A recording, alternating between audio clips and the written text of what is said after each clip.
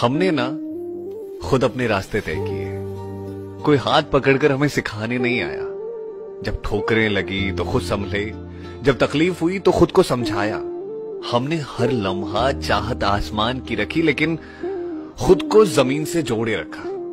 यही वजह है कि हमारे साथ सब हो सकता है, बस हमें पर नहीं लग सकते।